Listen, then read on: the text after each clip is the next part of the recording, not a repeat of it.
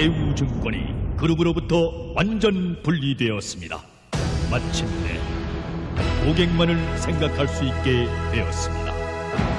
이제 달라진 대우증권을 만나십시오. 대우증권